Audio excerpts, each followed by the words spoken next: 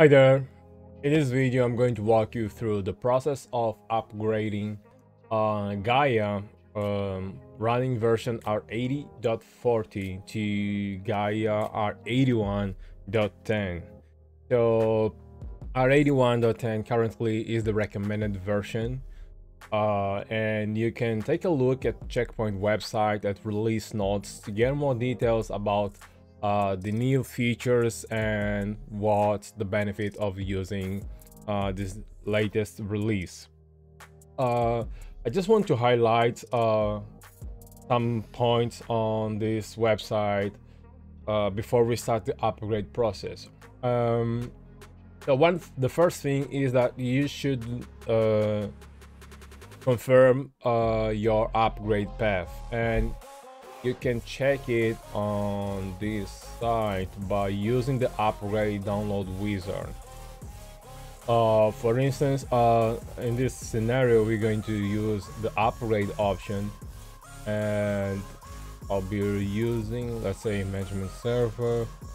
And my case is going to be an open server from Gaia R8040 to Gaia R81 and you can see that right now the the only uh, release it's, is going to be the rec. So I don't need no intermediate release from R8040 to R81.10 and this is the first thing that you should you should check. Uh, here we can download the ISO file. And actually that's not ISO that's R. This is for install and upgrade and the other thing is that you should as well uh, check the administration guide to get more info about the up upgrade process.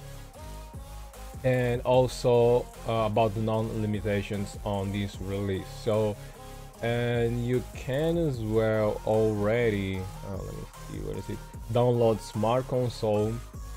I have already downloaded smart console although you can download uh, Smart Console from um, Checkpoint uh, Gaia portal and but I'm just going to down I've already downloaded from this page. Now on my management server uh, let's start uh, by checking the current version and you can see right now I'm running um, Gaia R80.40 and so we want to get to upgrades checkpoint user center and what I'm going to do is to first um, check for updates. And what it's going to do is going to upgrade the deployment agent to the most updated version and I'm going to do the same for uh, the gateway. Now the upgrade process, it's a very lengthy one. So I'm going to edit uh, a lot because uh, this might take uh, more than one hour depending on your database size, depending on your internet connection. So you should uh, make sure that your gateway and your management server are able uh, to reach the internet. And you can see right now my policy is a very simple one, very basic. I'm only allowing uh, my internal network to access the internet. Um, so there isn't much there. And we're going to focus most of the time on the Gaia portal itself. As you can see right now, it's updating the deployment agent and looks like already downloaded uh, um, the images. No, it found them and now I have to download. Same for gateway. The deployment agent uh, upgrade is completed and now let's download um, Gaia version R81 Pressure Sewing upgrade. I want to download and I'm going to do the same for uh, for the gateway. Oh, this process is going to take a while. So first it's going to download and only then I'm going to upgrade. Now that the package was downloaded successfully, uh, let's verify the update. And see for gateway, gateway is already done. Okay. Oh. Now, what I'm going to do is to upgrade first um, the management server. And actually that's the recommended option. So first we have to upgrade the management server and only then upgrade the other products like the gateway or the smart event.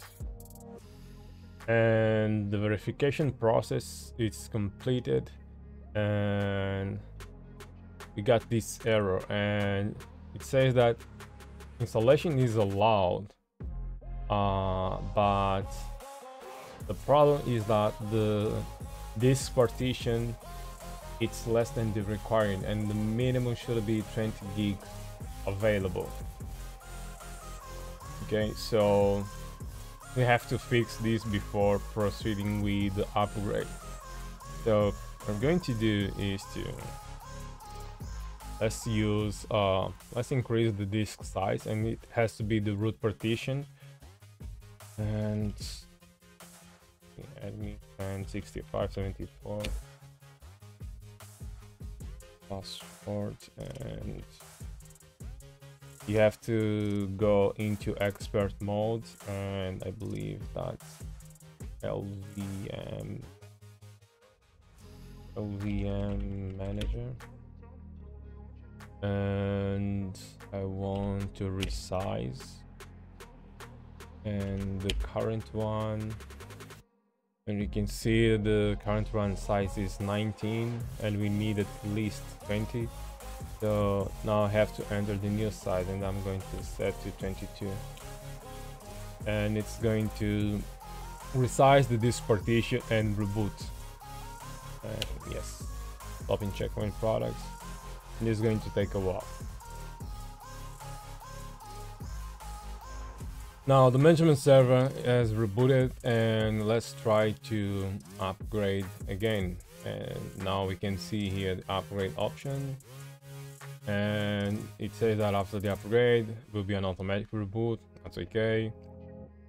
And let's just proceed with the process. And it's going to initiate the upgrade process. First it's going to form a backup of the database and then it's going to upgrade uh, Gaia operating system. And we can actually uh, see this process happening. Uh, there is a new feature uh, that's a report that will be presented to us during this process. The management server is going to reboot and we can see that right now the upgrade is still running. So you can take a look at the status right now. The uh, how long it might take.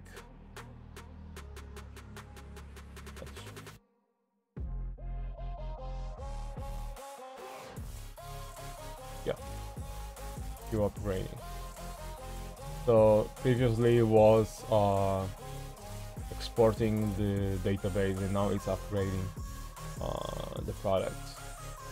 The management uh, already started to import the database uh, let's start uh, the upgrade process on the gateway. Well,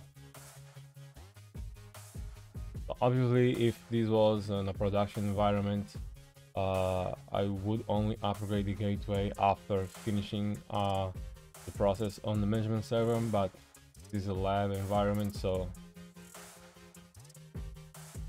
start the upgrade process. Uh, it will be the same process as we did for the management server. Oh, it's going to initiate the upgrade and then it's going to reboot.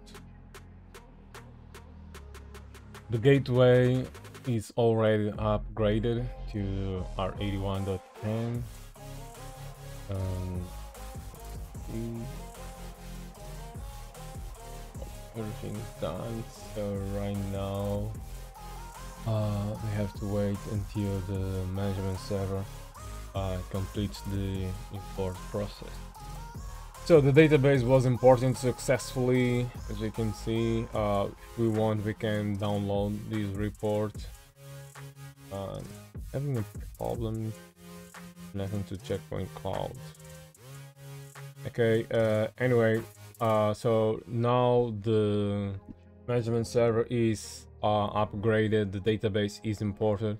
Uh, the same for my uh, security gateway. So now let's just install Smart Console. And I've already downloaded and I'm going to install now. You can download as well using uh, web portal or from the Gaia um, installation page. Uh, just to save time and the installation process is quite simple so just agree with the license and install.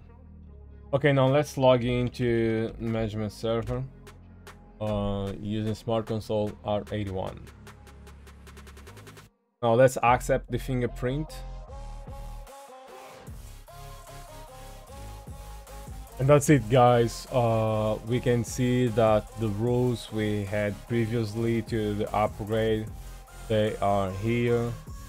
And we should see that the, the gateway and the management server they're both running version R81 and there is some upgrades I believe. Yes there are two updates available.